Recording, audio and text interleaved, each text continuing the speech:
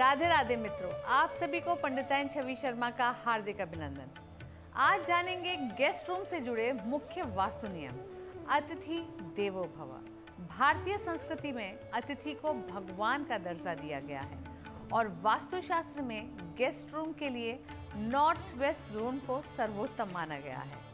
इसलिए आपके घर में आने वाले वह सभी सदस्य जो कुछ ही समय के लिए आपके घर में मेहमान हैं उन्हें नॉर्थ वेस्ट जोन में ही ठहराएँ।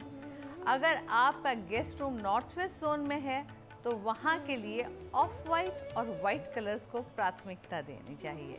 आपको शायद ये जानकर आश्चर्य होगा कि हमारी केस स्टडी में कई तरह की समस्याएँ सामने आती हैं। कुछ लोग दुखी हैं कि उनके यहाँ मेहमान हमेशा बरकरार रहते हैं तो कुछ का मानना है कि उनके यहाँ गेस्ट रूम्स बस खाली ही पड़े रहते हैं। और उसमें कोई नहीं आता। दरअसल जाने अनजाने लोग मेहमानों को अपने घर के गलत वास्तु जोन में ठहराना शुरू कर देते हैं, जिसके कारण ऐसी समस्याएँ सामने आती हैं। मेहमानों को कभी भी घर के साउथ वेस्ट भाग में न ठहराएँ, क्योंकि जिस घर में साउथ वेस्ट भाग में मेहमानों के लिए कमरा डिज़ाइन किया जाता है, वहाँ मेहमान अधिकार जमाने लगते हैं। और जिसके कारण परिवार में समस्याएँ सामने आती हैं। आप चाहें तो अपने मेहमानों को उत्तर या उत्तर पूर्वी भाग में भी ठहरा सकते हैं।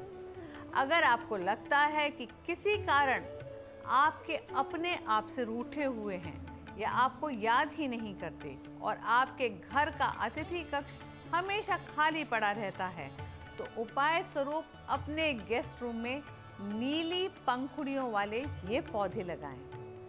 फॉरगेट मी नॉट आयरिस या ब्लूबेल ये पौधे लगाने से निश्चित ही आपके संबंध अपने रिश्तेदारों से सुधरेंगे और आपके घर भी मेहमानों के शुभ कदम पड़ने लगेंगे।